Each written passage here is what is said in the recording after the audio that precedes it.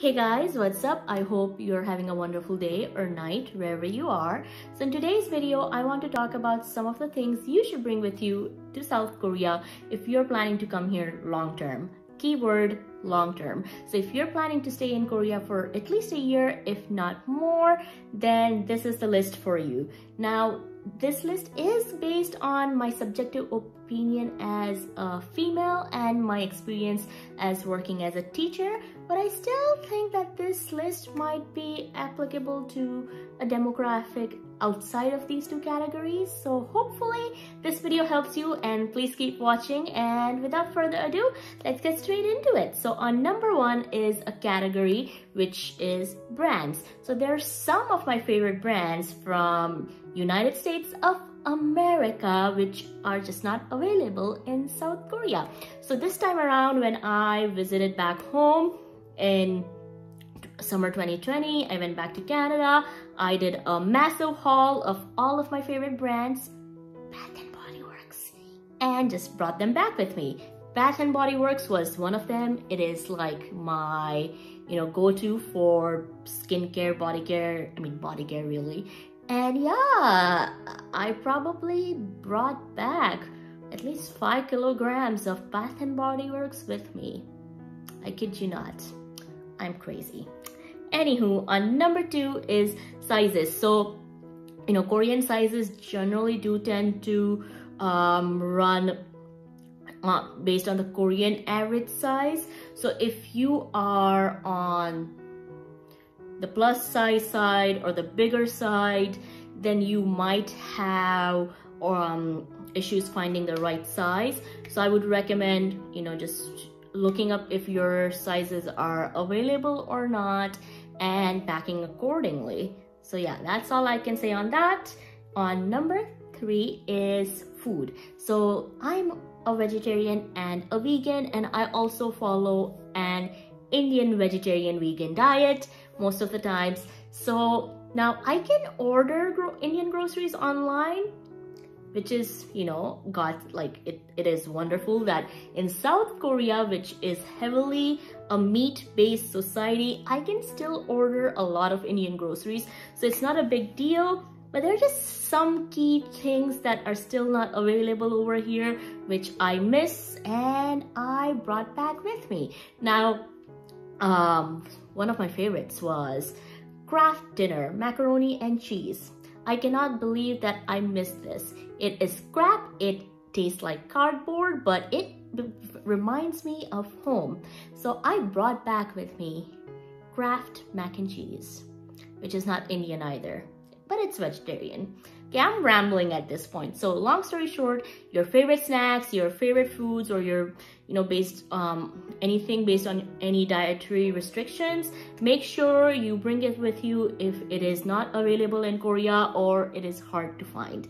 Anywho, on number four, impossible makeup. So for me, finding my shade of foundation and concealer is easy if I go to Sephora in Seoul, but outside of it, it is kind of impossible. And, you know, if they do carry darker sh um, shades, if, you know, um, uh, what is it called? Olive Young? Yes. So Olive Young is kind of like Korea Sephora, kind of. I wouldn't say really. It's not really similar, but it you can buy makeup there.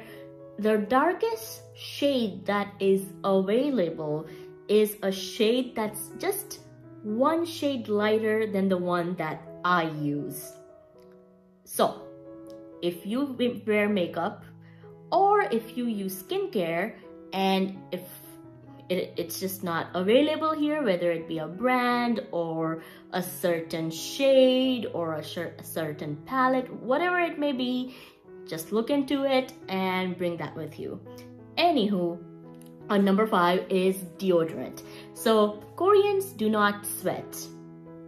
So yeah, they don't use deodorant. Now, it is available in Korea, but the options are limited and it is pricey and you don't really get um, a lot of options even in just not in terms of brands, but also in terms of scents. So again, if you use deodorant, please do pack that with you.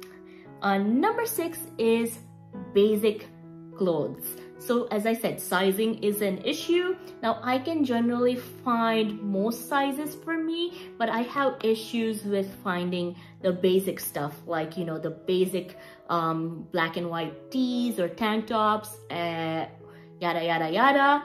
And it's not even the sizing that's an issue for me. For me, the issue is I just don't like the quality. And I wouldn't say it's bad quality. It's just that I'm not used to it. I'm just not used to, the way that it's made over here. So again, when I went back home, I packed up on some basic uh, clothing like tank tops and camisoles and um, plain old t-shirts. So yeah, basic clothes.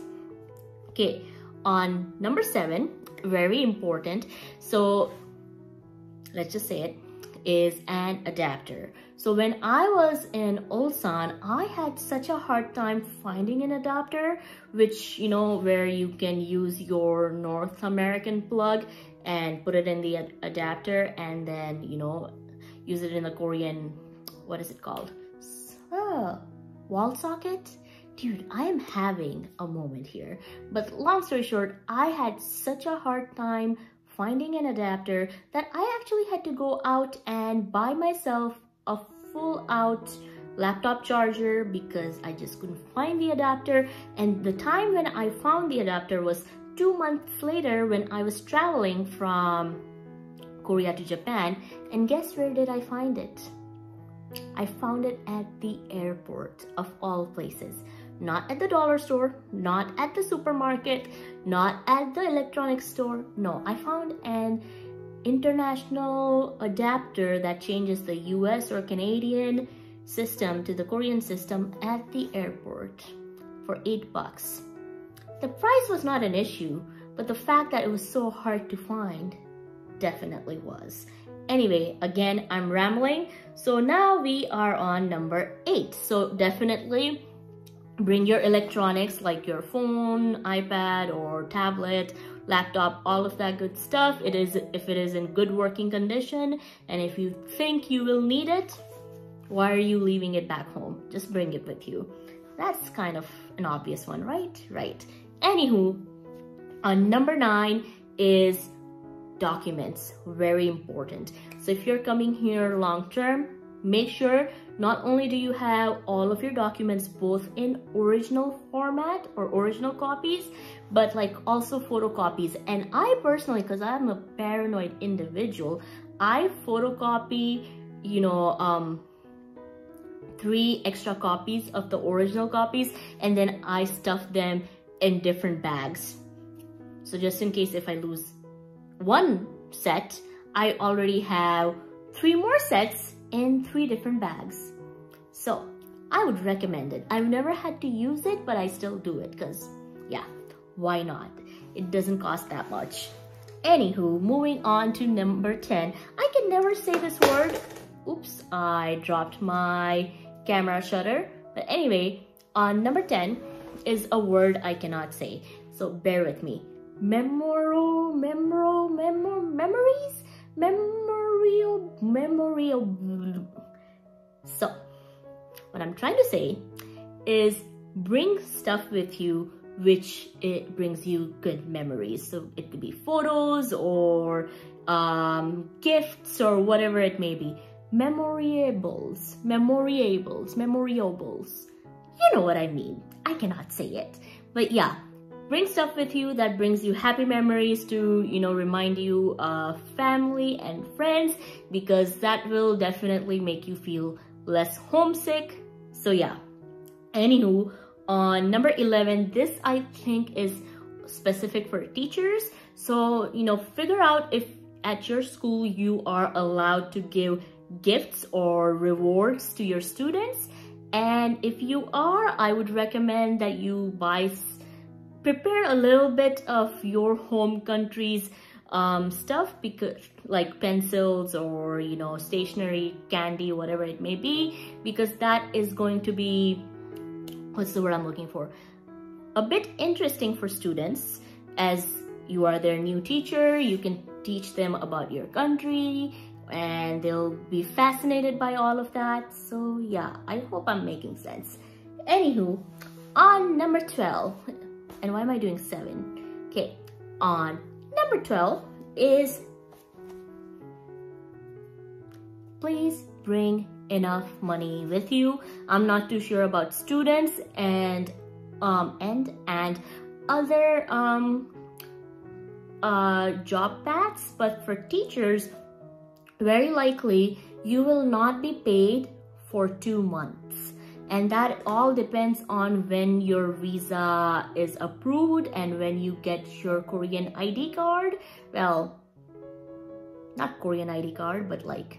Okay, I'm not gonna get into the technicalities, but as I said, very likely that you might not be paid for two months and you will need um, money to sustain you for that long. So make sure you have enough money to last you two months. And what do you need to spend?